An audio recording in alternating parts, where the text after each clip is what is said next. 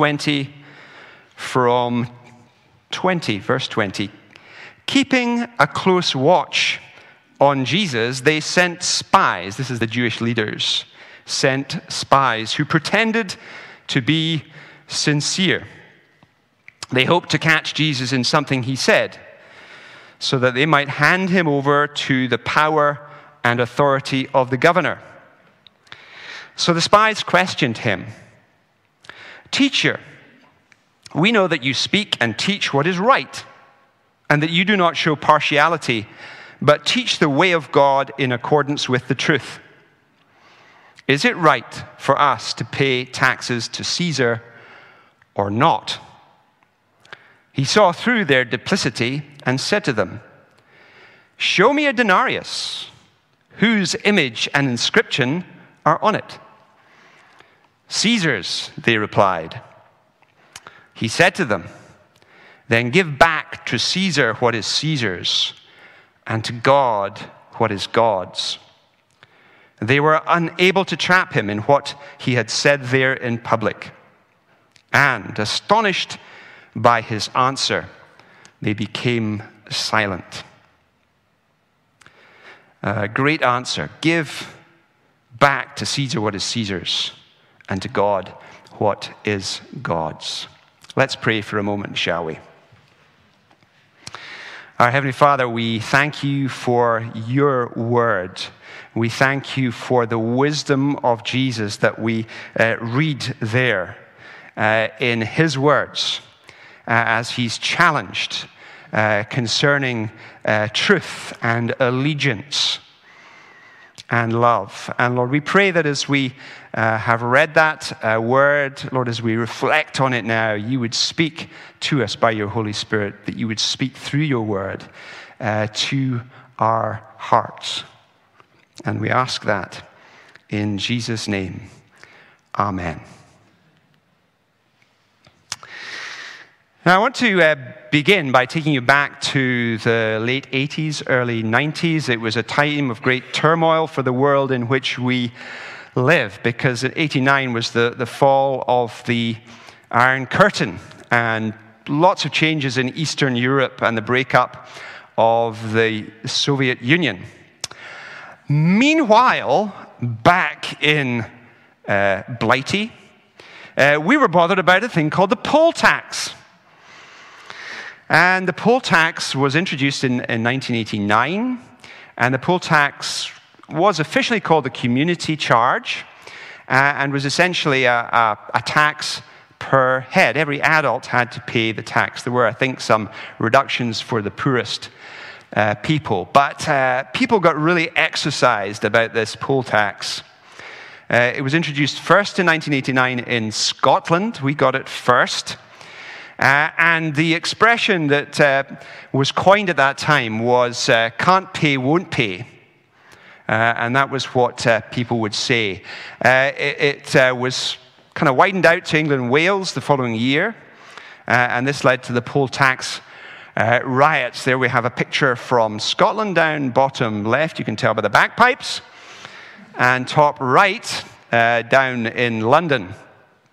And there was something like uh, 100 people uh, were injured in these riots. There was over 300 uh, arrested. Uh, so there was a big rammy. Uh, and towards the end of 1990, this was probably one of the major factors that led to the departure uh, from the position of Prime Minister of Mrs. Thatcher. the poll tax itself didn't last an awful lot longer. The new Prime Minister, Mr. Major, and his government decided to get rid of it, and by 1993 it had been replaced by the council tax, which is what we have still today. So that's taking you back in time. Some of the younger folks here might not even remember such a thing and the excitement that it caused. Now, the reason for mentioning the poll tax or the community charge is that that was what was being discussed uh, by the people who came to challenge and question Jesus that day. They came to talk about a poll tax. Probably wasn't quite as much, but for many of the poor people at the time, it would have still been expensive. And maybe they would have felt, well, I can't pay, so I'm not going to pay. But the consequences, probably in those days, would have been an awful lot worse. Uh, I've got a picture coming up uh, of the coin. This was most likely uh, an example of the coin that would have been used. This is a Tiberian denarius, uh, because the emperor at that time was Tiberius, and this was his coin, uh, equivalent to about three pounds uh, today. But given that we're having a little bit of devaluation of the pound right now, maybe it's more like close to two pounds. So it's, it's the equivalent of about two pound coin today was the, the head tax, the poll tax that was applied to everyone uh, in that nation at that time, and probably indeed to the whole empire. Uh, the coin is inter- interesting. It has the portrait on one side of the emperor, Tiberius, uh, and it's got an inscription which is abbreviated and in Latin, but uh, being a Latin scholar, not. I gave it up in second year because I hated Latin. Uh, but says something along these lines Caesar Augustus Tiberius, which was his full title, son of the divine Augustus. So his dad was considered to be a god, and Tiberius was considered to be a god as well.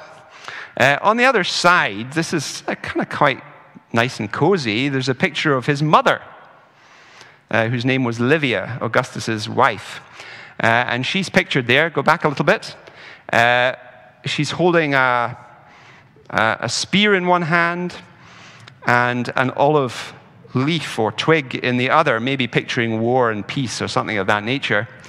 Uh, and again, there's another Latin inscription, this time Pontiff Maxim, which means high priest, because in the pagan religion of the Romans, uh, not only was the Caesar one of the gods, he was also the high priest of their religion. And so this is the coin that would have been passed to Jesus that day. And it was essentially a, a portable idol promoting paganism. Uh, I'm not sure Jesus would be that fussed about it, uh, uh, as is apparent in what he says in a moment. Uh, and the Jewish leaders, they wouldn't have been too fussed about this head tax either, or indeed this little coin, claiming that Caesar was the high priest, because that's certainly not what they considered to be the case. Uh, and they sent some people, some spies, to test Jesus with uh, their Tiberian denarius. And they begin quite positively, uh, trying to lull him into a false sense of security. Uh, and they make some very positive statements. They say that you're somebody who teaches the truth, which was true of Jesus. Uh, and you're somebody who, ha- who, shows no partiality towards one group of people as opposed to another uh, group of people, uh, which was true. Uh, Jesus uh, didn't consider one group of people greater or better than any other group of people. He treated people equally. Uh, and so these were true statements. But then they came in with their, their, their test uh, to test Jesus, this question that they ask. You know, should we pay taxes to Caesar or not? Is it right to pay taxes to Caesar or not? Uh, and they're really kind of putting at odds uh, the Roman system and the Roman high priest, which was Caesar, uh, against the Jewish system, the Jewish high priest, who I presume at that point was Caiaphas.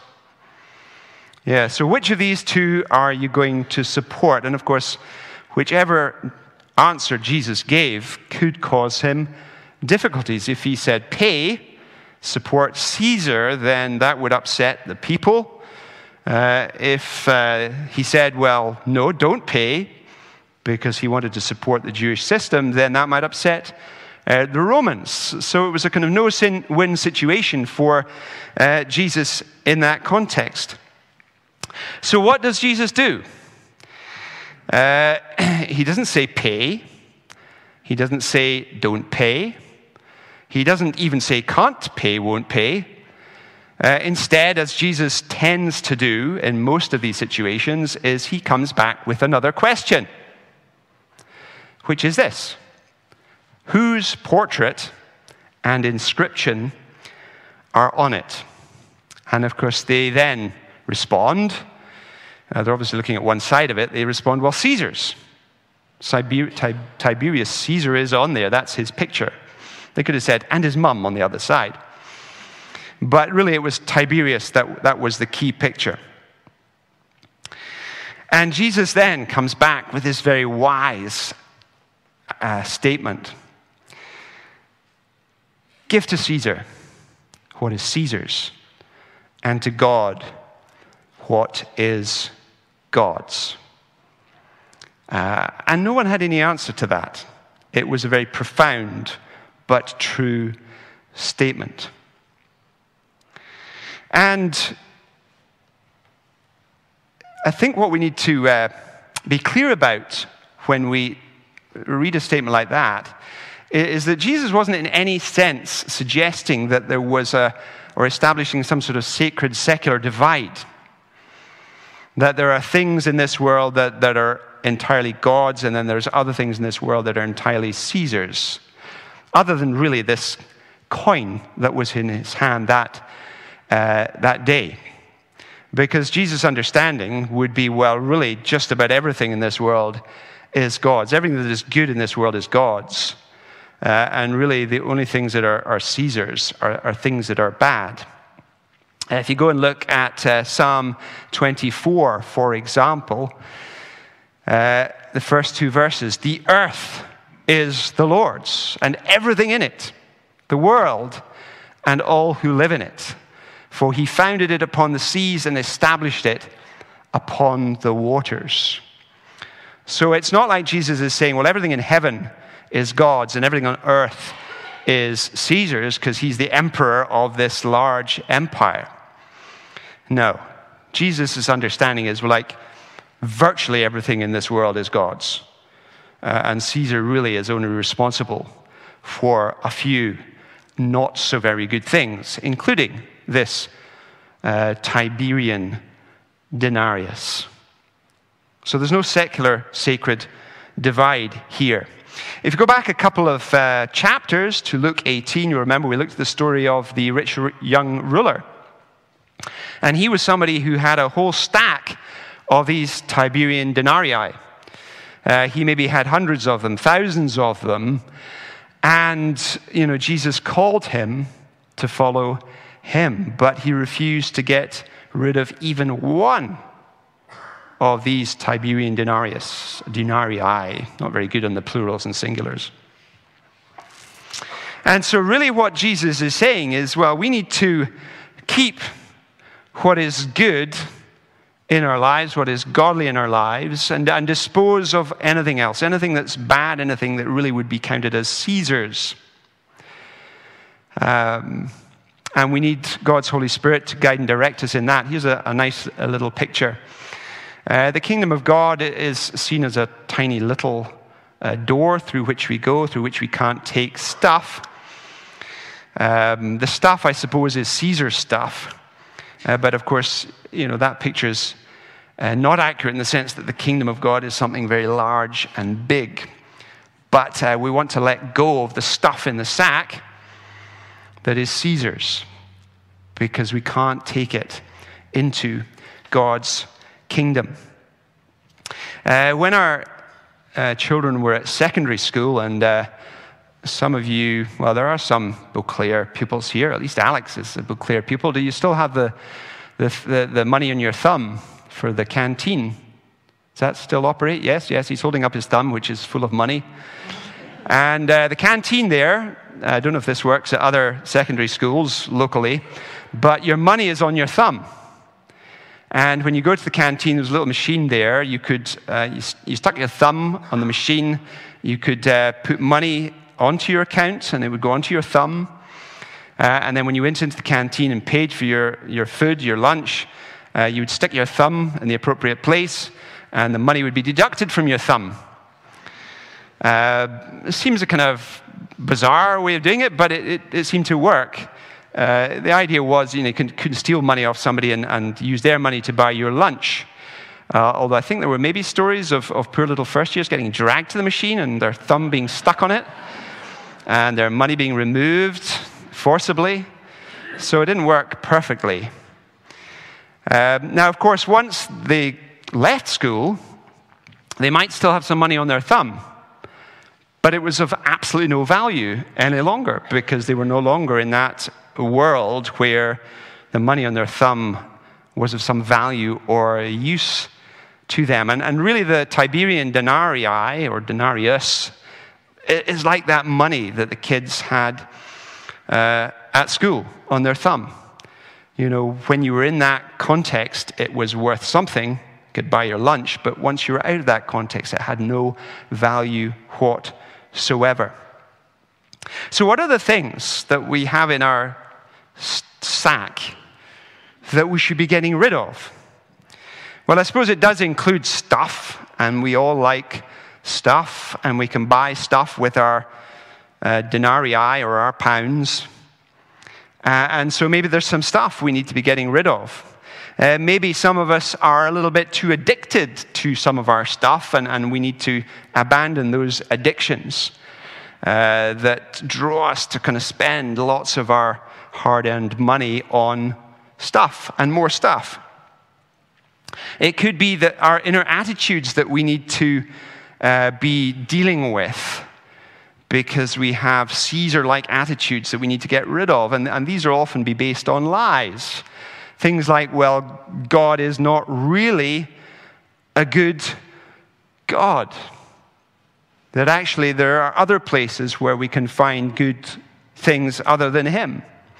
Or maybe lies about ourselves, that we're not really worth an awful lot, that, that God really doesn't love us in the way that the Bible says. Maybe lies about other, about other people that we're clinging on to that, that stop us embracing them, stop us forgiving them, uh, stop us showing grace towards them. It could be lies about our circumstances, thinking that, the, that they're a lot worse than they really are, because when God's involved, uh, you know, we can survive our circumstances, we can get through our circumstances, we can uh, grow above our circumstances. It could be broken things uh, in our lives because stuff breaks. It could be broken lives, it could be broken relationships, it could be broken bodies, it could be broken homes. Uh, these are all in, in Caesar's territory, and God wants to uh, come in and transform these things. We're not quite on to the next slide yet. Alex, thank you. Uh, and so, you know, the, there are things to be fixed. And sometimes we think that we can fix these things uh, using uh, solutions that Caesar has provided. We can fix these things with money. Uh, when we were talking about money in, in the series on the blessed life, uh, came out, we shared that principle that if something can be fixed with money, then it's not a problem. If you have a problem, then that's something you should take to God because He's the one who can fix those things. The idea that uh, any of Caesar's stuff or Caesar's money can fix our deepest problems is just another lie. We need to find uh, help in God. Okay, Alex, the next uh, picture. Uh, you could have a think about who that might be uh, being crowned. Uh, but all of this happened that day with Jesus in the context of the Roman Empire. Uh, and it was like the massive empire that was uh, in place at that time, covering the, the known world. Uh, we even sit here on a, what was a Roman fort many years ago uh, at one of the boundaries of, of the Roman Empire. And a bit like maybe the Soviet Union in 1989, we maybe thought that it would never fail, never fall. The Soviet Empire did, and, and the Roman Empire did. It fell. They tried all sorts of solutions along the way. Uh, Caesar, the Caesars looked for solutions to the problems that they had. But ultimately, uh, the Roman Empire fell. It had various incarnations. I think around about 285, it was, it was divided into two bits with a capital in Rome and a capital in Constantinople, which is now uh, Istanbul. Uh, the western side was attacked and overthrown by uh, a group of people that would be generically called barbarians. Uh, they had all sorts of different names and titles, uh, and that was around about uh, 400 or so AD. The western part of the empire collapsed. And that was even though they had uh, made the empire Christian around about 300 AD, uh, but they did it in a Caesar like way and in an institutional like way. They forced people to become Christians, they forced them to be baptized, like the whole empire was intended to be Christian. But in actual fact, it wasn't really Christianity as we understand it from the Bible. So the Western Empire fell in 476. Uh, the East, based on Constantinople, lasted for another thousand years, till the 1400s. And yet, in the end of the day, it too fell. Uh, there was one further incarnation of, the Roman Empire, uh, which is what's pictured here. Does anybody know who that might be? Being crowned? Charlemagne. This is why you always want Graham in your quiz team. This is 800. It's Rome. It is the crowning of Charlemagne by the Pope as the first of the Holy Roman emperor, em, emperors. Uh, and the Holy Roman Empire, which uh, covered Central Europe, lasted from 800 AD to 1806, so relatively recent. But ultimately, the Roman Empire fell because they, uh, the, their solutions were always Caesar directed solutions. And ultimately, the Caesars were only men. Maybe if they'd appointed a woman, it would have all been different, but no, they were all men, and uh, their solutions ultimately failed. And, you know, the truth is that even today, uh, modern day politicians and leaders you know, pursue Caesar type solutions to the problems that we face in our world. And uh, I would suggest, not wanting to be too political, but like the whole Brexit thing is looking a bit like that. You know, it's Caesar solutions, and there's just frustration and failure beckoning uh, on that front. Because that's not really where we ought to be according to Jesus. Because uh, the solution, that this idea of giving to God what is God's and, and ditching Caesar's stuff, is found in the wandering rabbi who they were uh, questioning that day. The solution is found in Jesus. Next slide, please, Alex. Thanks. Because, of course, you know, we know from Scripture that the, the, true high priest, the great high priest, is not Caesar, it's not Caiaphas, it's Jesus. And he is the one that brings uh, the God's solutions to bear. He is the true and great Pontiff Maxim, not this little coin, and not the Jewish high priest either. And he encourages us to embrace the truth, the things that he taught when he was here, the things that he spoke, the things that are written for us in the scriptures. Uh, truths like, you know, God is good and God has the very best for all of us and for this world that we uh, live in. God is good. That Jesus' blood has paid for everything. That's where we should go for the solutions to the problems we face the cross. That each one of us is, is valuable in God's sight. He loves us, He loves the whole world. He wants to have a relationship with us. And anything is possible in this world when God is on your side and when you're pursuing God's will for your life. And so we need to embrace the truth, the truth of the great high priest that is Jesus. This is a particular picture that uh, the writers of the Hebrews develops right throughout the book of Hebrews. Talks about Jesus as a great high priest who has gone through the heavens, uh, a high priest in the order of Melchizedek, a high priest who has sat down at the right hand of God, a great high priest tempted in every way as we are, but yet without sin.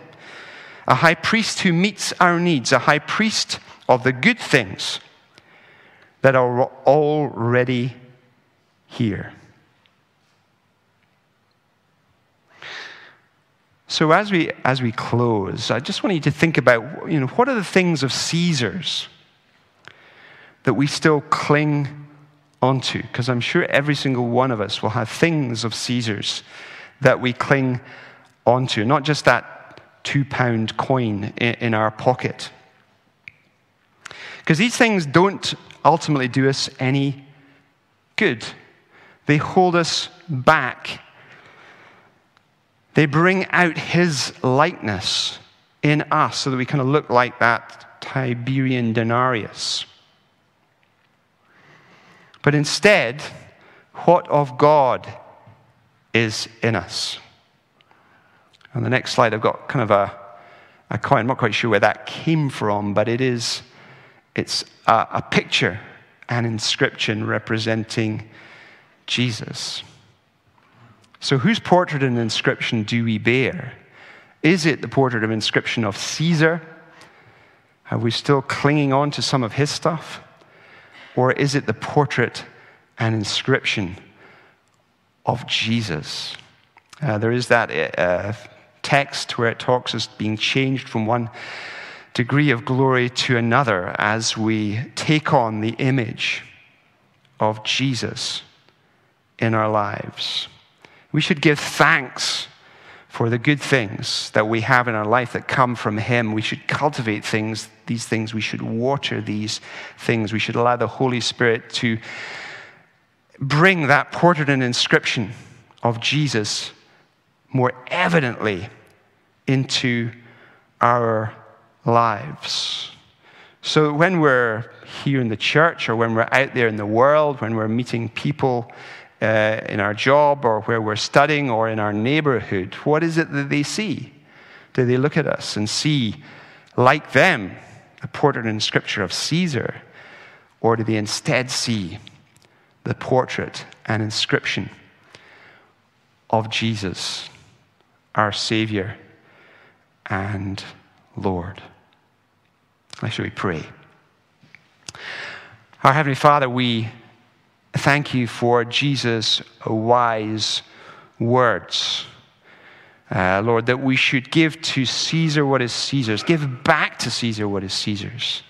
The things that uh, stop us being who you want us to be, the things that are tripping us up and troubling us. Let's just give them back to Caesar. Uh, Lord, identify these things in our hearts and lives and, uh, and give us the courage to let them go. Sometimes we gain a degree of false comfort from these things, uh, Lord, but ultimately they just cause us harm. And so help us to identify these things and just let them go. And instead, Lord, help us to embrace the truth that is in Jesus, the truth that is in your word, the truth that's brought to us by your Holy Spirit. Lord, we, may we be transformed by you, even this morning, changed into the likeness of Jesus, changed from one degree, degree of glory to another. Lord, may we be people as we go out from here today over this coming week that when people see us, they see Jesus' image displayed in our lives. And we ask that in his name. Amen.